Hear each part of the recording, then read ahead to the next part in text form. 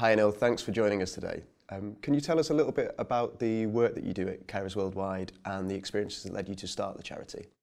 Thanks, Paul. Uh, I'm the founder and executive director of Carers Worldwide. Two experiences have inspired me to set up Carers Worldwide. One was before I moved to UK, I was in India working on the issue of mental health, particularly in rural areas. Uh, so whenever I used to meet with uh, uh, caregivers or family members, these are the unpaid family members who have been caring for their loved one, uh, they used to ask two questions. Uh, one was why this happened to us, what did we do, was it a past karma or a sin or somebody has done witchcraft. Um, so whatever knowledge I had or understanding I had about mental health, I was able to respond to that question adequately. But the second question which had a huge impact on me because of the uh, stigma associated with mental illness and there was so much of social pressure on the family members. The second question caregivers used to ask me was what happens if I die tomorrow? Really, I never thought about that question uh, until then, and it hit me so hard. The second one is I would like to share with you, Paul, is about uh, my own experience being a caregiver. Uh, it's a bit quite emotional. Ruth and I have two beautiful daughters. Uh, when our second daughter was born, we discovered that she has a Down syndrome. It, it hit us so hard the kind of questions what caregivers were asking in uh, rural areas in India, the same questions were going through our mind. Why us? What did we do? Of course, it is privileged to have her. Maya is enriching our life. And if there wasn't a support from friends and families and professionals, I don't think I would have been sitting here and sharing that experiences. These two experiences led me to ask a simple question. Imagine what is it like country like India where I'm born and brought up, where there is no acknowledgement, no recognition of the wonderful work done by the caregivers day in, day out. And I do feel they are the backbone of our health system, but absolutely there is no appreciation of the wonderful role they, are playing. So, yeah, those are the two experiences have inspired me to think about uh, the caregivers and their health and well-being and their recognition. Why is it that you think there's no appreciation and recognition for caregivers? Carers are invisible, they are hidden behind the curtain.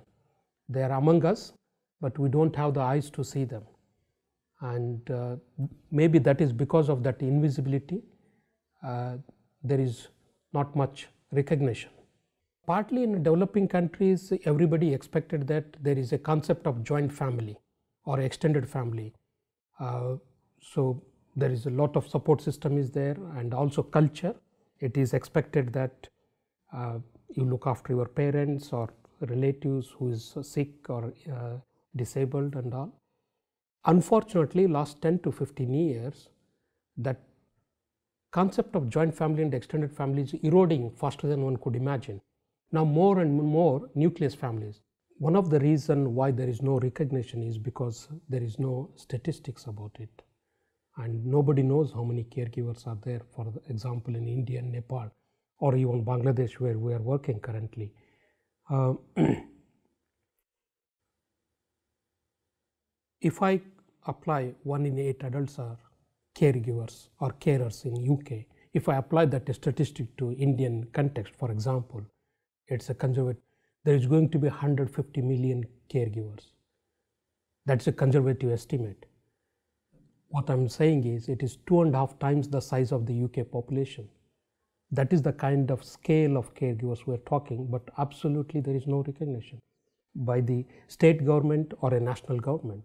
Of course, there are statistics are there about various issues, number of people uh, suffering from mental health issues, or people with disability, people with dementia, all these issues need a caregiver, but absolutely nothing. In country like in uh, India or Nepal, we do census every year and there is no question asked around the caregivers. Do, does the family has caregiver who is looking after somebody who need that care? Absolutely nothing. And uh, sometime uh, we also count how many animals we have in the families, but not the role played by the caregivers.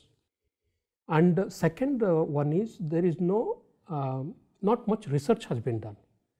There is no evidence around the caregivers, so burden of caring on the primary caregivers or the family members, impact of caring, what is it is happening on family members as well as the other members in the family. Absolutely nothing.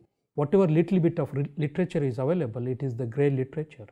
Here and there, some uh, wonderful uh, non-governmental organization or charities who have done some research. Not much academic research has been done. Uh, so, because of that, there aren't any policies around uh, caregivers. There are fantastic policies about person who has been affected, whether you call HIV AIDS or elderly, uh, mental health issues, disability, dementia, all those things. There is a word they use part of the policies and act as well, caregivers. Caregiver, they use the word to care for somebody, but there is no service provision or support for them. Do healthcare professionals recognise the work that carers do? Quite often, professionals don't recognize carers are also professionals. They know what is best for their loved one. Quite often, we look at carers are labor force, not as a knowledge force. We as a professionals, we hardly spend a time with them and we ask so many questions and at the end whatever information we provide or skills or knowledge or training, it is the caregivers who are implementing that knowledge. Whatever changes we are seeing in the person being cared for, that is because of the carers. We as a professionals, we hardly spend a time with them and we ask so many questions and at the end whatever information we provide or skills or knowledge or training it is the caregivers who are implementing that knowledge. Then we are seeing the changes. But when the changes have occurred, I am taking the credit. We are not giving the credit to the caregivers. We are, on the contrary, we are making them feel guilty about it. You are not doing, uh, not taking good care. But we fail to understand why that is the case.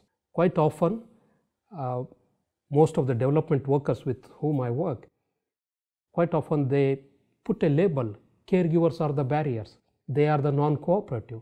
So my challenge to them was, is the really the caregiver the barrier or is it our inability to understand the bigger picture? Have you asked a simple question why they were unable to bring person with mental illness, for example, to a mental health camp? Because there was no food in the family. That is most important to them. So they locked that person or uh, they have to go to the work and earn money to feed however many mouths in the family are there. That is most important. But our focus was again only on the person who is suffering. We never looked at the bigger picture. So when I make this statement, that opens, yes, you are right. We never ask from the carer's point of view. Always we are looking at person with disability or elderly or person with HIV AIDS or mental health issues, but never from the carer's point of view. One of the carers that we spoke to in India, Aparna, um, talked about the big problem of stigma surrounding things like mental health and uh, physical disability in India. Is that common in developing countries and can you tell me a bit about that, Anil? That's right, uh, Paul. It is very common, particularly mental health uh, issues. Stigma is so um, high. Uh, if a family has a member of the family suffering from mental health issues, um, one relatives stop visiting them, neighbors start to avoid them. They feel that still these are um, issues that if we start engaging with them, then I might contact that mental health uh, problem. So, although the science and uh, there is a greater knowledge of biochemical changes in the brain and there are trigger factors and risk factor which will lead to so rural areas still uh, there is no uh, sensitization or awareness. And also there is no service. For example just i want to give an example a country like india we have 1.2 billion population. Can you believe that we have more just over 3000 psychiatrists? Just over 3000 and uh, maybe over 1000 psychiatric social worker. This is the situation. Most of these psychiatrists are living in cities just imagine person uh, suffering from mental health issues in rural area. It is a dream come true for him or her to see a psychiatrist qualified. So first point of contact for them is faith healers. Because these faith healers are the uh, people living in the community who has some understanding some knowledge and all. If the carer starts to suffer ill health what's the knock-on effect of that for the care recipient? Huge knock-on effect is there um, cared for individual will be worried about whether I'll be getting timely food uh, or somebody will be changing my uh, diapers uh, or who will be able to take me to the bathrooms. So all these activity daily living skills which carers are providing, huge, huge impact are there. You talked in the first story about the importance and the impact of support groups. Just how important have you found them to be with the carers that you've brought together in these groups? I won't be doing the justice really by sitting here and sharing. One has to experience and be there part of that group. One adult carer, um, she had three disabled children, um, muscular dystrophy, and husband died uh, three years ago and after a few months of passing away her husband, all the family relatives stopped visiting her family um, because they think that if we visit, she will ask money and she doesn't have any means to repay that money. So, whatever resources she had, she was able to survive and provide the support to the children and all, and it was affecting her health. She was not having proper sleep not able to take nutritious food, simple nutritious food, unable to go to work. And uh, she was uh, almost attempted three times to commit suicide. And our carers group came to know about her situation. One of the carers went to her house and talked to her, spent an hour. We know your situation, you try to do this one why can't you give just one hour time to us come and so and so date and meet with other carers in a similar situation? Um, so with great difficulty she was able to join the group and uh, attend the meeting. And every carers were able to share their experiences and uh, how what the situation was what the situation is now and uh, she found very moving. Uh, at the end of that meeting, she was saying, I found a purpose in my life. I know there is a great difficulty moving forward, but these are my family, these are my friends. If I need, I can uh, call upon them. And now she became a leader of that group, the one who wanted to commit the suicide. Can you put the value on that? And she was saying that I found a confidence and courage to lead the life. I know the road ahead is still difficulty, but these are 18 members are my friends. Even my family is not close to me. These are the 18 support system. I cannot emphasize the importance of this.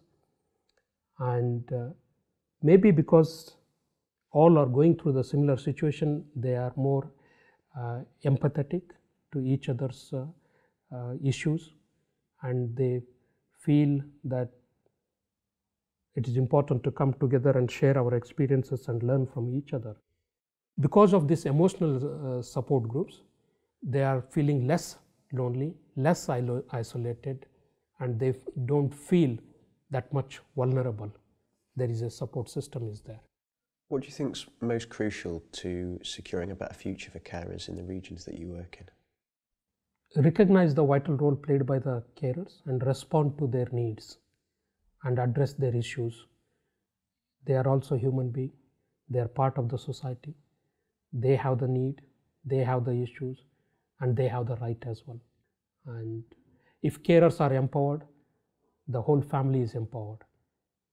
One realization I had, uh, uh, Paul, was all of us, irrespective of whether you are rich or poor, whatever caste you belong to, it doesn't discriminate. The issue of caregiving doesn't discriminate.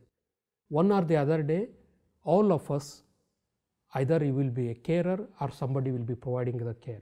I don't know when that will happen, but during our lifetime, sure, we will play one of those roles. In my opinion, carers are wounded healers.